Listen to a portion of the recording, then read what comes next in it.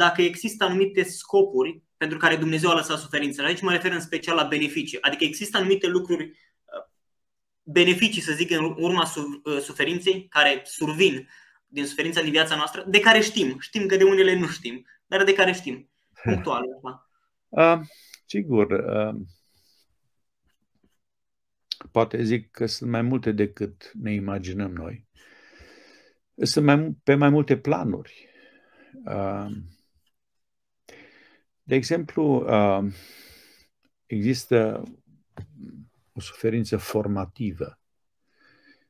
Uh, anumite tipuri de durere, de lipsuri, de nedreptăți, poate, care ți se fac și suferi. Ele formează ceva în tine. Nu vreau să spun că nu există suferință care să nu formeze. Poate e, e prea amplu și trebuie despicată problema, dar este suficient să spui că multe din suferințele îngăduite de Dumnezeu în lumea asta, vin peste noi, formează lăuntrul nostru, caracterul nostru, ne șlefuiesc pe, pe dinăuntru.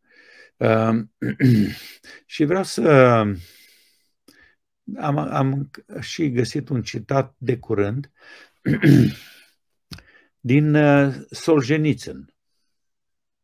Alexander Solzhenitsyn a scris Arhipelagul Gulag despre suferințele lui în perioada comunistă. El era scriitor și am găsit următorul citat. Scrie el. Am simțit imboldul să fac binele – numai atunci când mă aflam în închisoare, întins pe o saltea de paie. În mod progresiv mi s-a descoperit adevărul că linia care desparte binele de rău nu trece prin state, nici prin clase sociale, nici prin partide, partidele politice, ci prin fiecare inimă umană și prin toate inimile umane. Acolo mi-am hrănit sufletul și pot spune fără ezitare, binecuvântată să fii închisoare pentru că ai făcut parte din viața mea. Am încheiat citatul. pentru că ai făcut parte din viața mea? Asta era da. afirmația finală, nu? Okay. Da, dar să spui binecuvântată fiind, să fii închisoare pentru că ai făcut parte din viața mea. Uh, și era într-un moment foarte greu în viață, dar um, și el a văzut un beneficiu, pentru că i s-au deschis ochii la, rea, la marile adevăruri, la realitățile vieții. Um, a înțeles cam cum funcționează lumea aceasta și la nivel macro și la nivel micro. Uh, de aceea cred și din experiența personală că uh, suferința uh, îți curăță ochii sufletului, lacrimile o fac uh, și te face să vezi adevărul pe care, zic altfel, nu le-ai fi văzut. Și dau un exemplu. Okay. Uh, după moartea soției, uh, am văzut altfel relațiile ca prioritare în viața mea. Nu mai era nici măcar uh, slujirea pe care o făceam cu uh, o anumită pasiune, dorințe bune. Uh, nu mă mai interesa, știu, cariera profesională, ea a venit așa de la sine, și s-a oprit la un moment dat. nu m-a deranjat deloc. Uh, nu m-a deranjat nici măcar criticii și uh, judecățile unora care au fost pripite și neacoperite, dar mai, mai puțin mă interesau uh, multe lucruri în viață. Dintr-o dată, uh, pierderea soției m-a, m-a lăsat descoperit eu trăiam în relație, trebuia să beneficiez mai mult și știți primul sentiment care îți vine uh, după pierderea cuiva drag este cel de reproș. Că puteai să faci mai multe pentru el, puteai să petreci mai mult timp cu el sau cu ea. Uh, și alte și alte întrebări.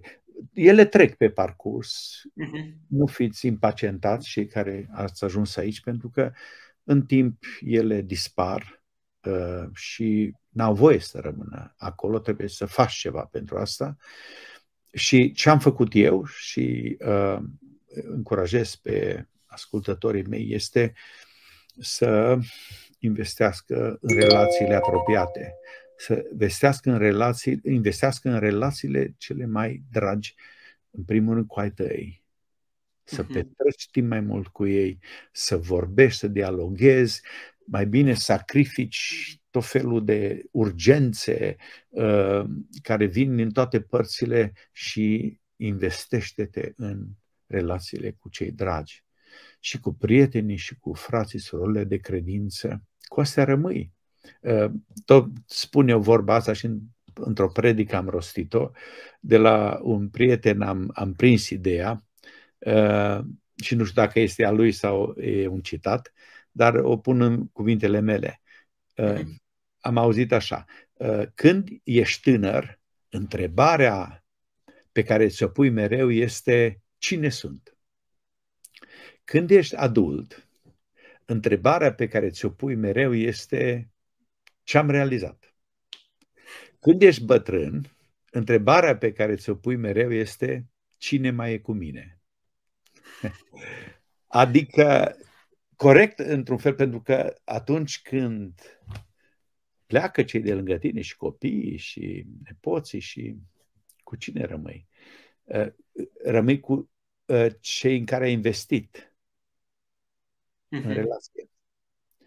De aceea cred că uh, acest principiu pe care eu l-am învățat greu uh, este esențial pentru viață. Și nu puteam, poate altfel să-l înțeleg, că eram un creștin activ în toate, implicat în toate și făceam lucruri bune, zic eu.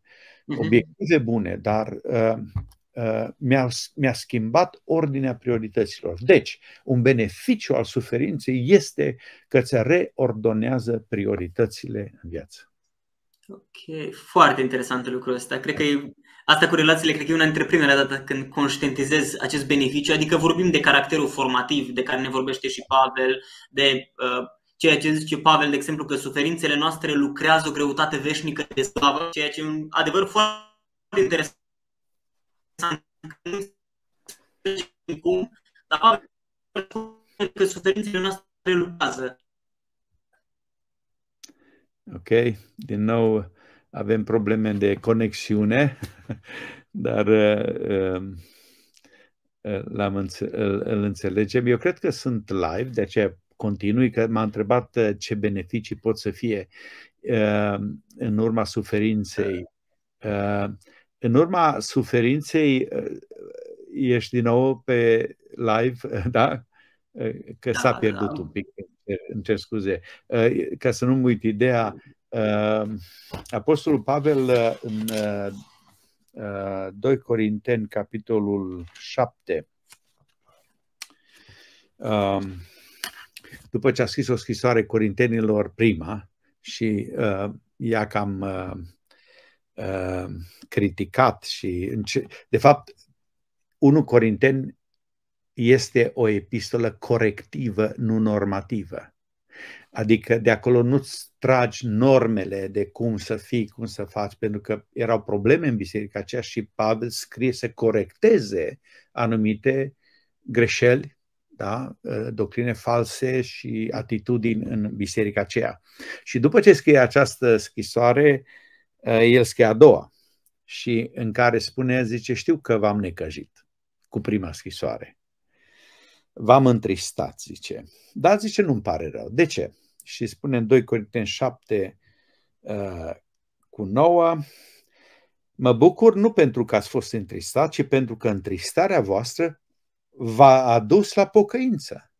căci ați fost întristați după voia lui Dumnezeu, ca să nu aveți nicio pagubă din partea noastră. În adevăr, când întristarea este după voia lui Dumnezeu, aduce o pocăință care duce la mântuire și de care cineva nu se căiește niciodată pe când întristarea lumii aduce moartea. Deci există un tip de întristare uh, creștină, dacă vreți. Când primești mhm. mustrarea, când uh, cineva intervine în viața ta, o suferință poate, ca să te îndrepte, să te pocăiești, adică să uh, te oprești din calea ta, să te căiești și să te ducă la mântuire. Asta e uh, explicația lui Pavel.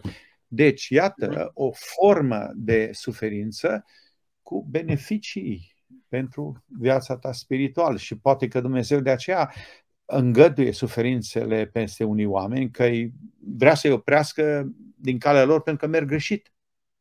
Și vrea să-i aducă calea bună.